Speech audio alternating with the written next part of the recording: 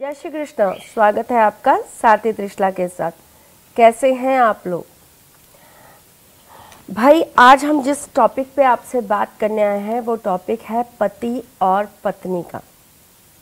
पति पत्नी का रिश्ता, जब एक साथ होने की बजाय एक दूसरे से जुदा होने लगे, जब ये रिश्ता एक दूसरे का होने की बजाय एक दूसरे से अलग होने लगे। जब एक दूसरे के साथ सुख दुख की कस्में खाने के बाद साथ न चल के अलग अलग चलने पर विवश हो जाए, तब इंसान क्या करे? ये वो रिश्ता है जो शायद इंसान को सबसे ज़्यादा खुशी देता है। हिम्मत देता है, ताकत देता है।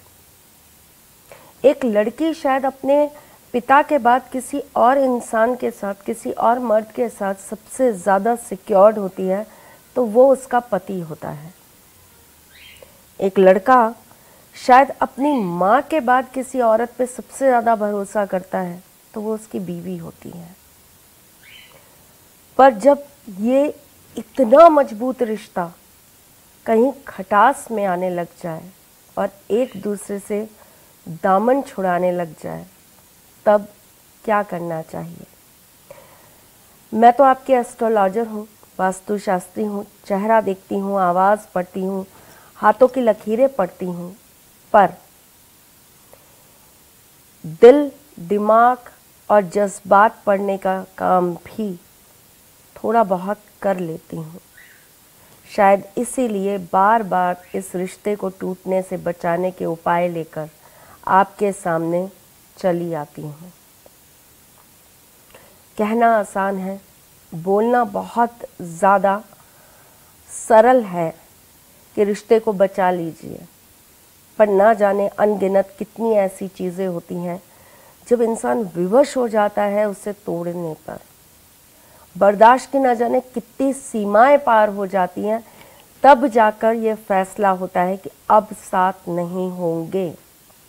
पर जब आप ये सोचो कि अब साथ नहीं होंगे तो उससे पहले एक उपाय ज़रूर कर लो। वो उपाय जो आज मैं आपको बताने जा रही हूँ। वैसे तो पति पत्नी के रिश्ते को बांधने के लिए मैंने बहुत सारे उपाय बताए हैं।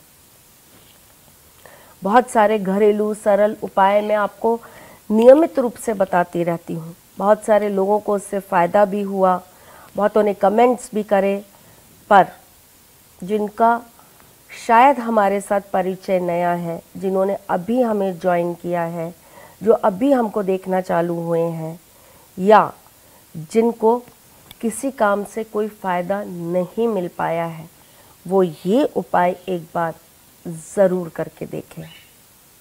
करना क्या है आपको? आपको एक मटकी लेनी है। उस मटकी को आपको पीले रंग से अच्छे से पोत लेना है। उसमें आपको सरसों का तेल भरना है। काले कपड़े से उसके मुँह को ढक देना है और शनिवार की रात्रि में जाकर आपको उसको किसी सुनसान जगह पर गाड़ आना है। अगर पति पत्नी का रिश्ता बिल्कुल इतनी सी डोरी पर टिका है और एकदम टूट ही गया है, समझ लीजिए तो ये आखिरी उपाय ज़रूर कर लीजिए।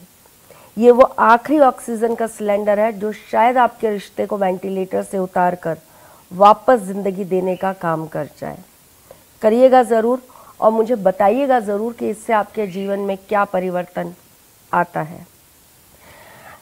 हमारे पास एक कुंडली आई है, जिसे हम डिस्कस करने आए हैं आपसे। ये कुंडली आई है नीलेश की।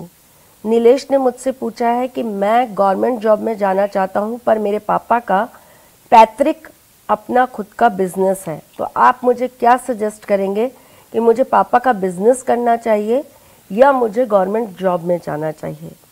नीलेश, आपकी कुंडली के अकॉर्डिंग तो मैं आपको बिल्कुल सजेस्ट करूँगी कि आपको अपने फादर का बिज़नेस ज्वाइन करना चाहिए।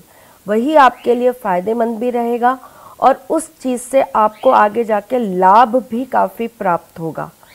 आप गवर्नमेंट जॉब के लिए ट्राई करना चाहते हैं, आप कर सकते हैं, पर उसमें कोई बहुत ज़्यादा सफलता या बहुत ऊँचा पद मिलता हुआ मुझे दिखाई नहीं देता है।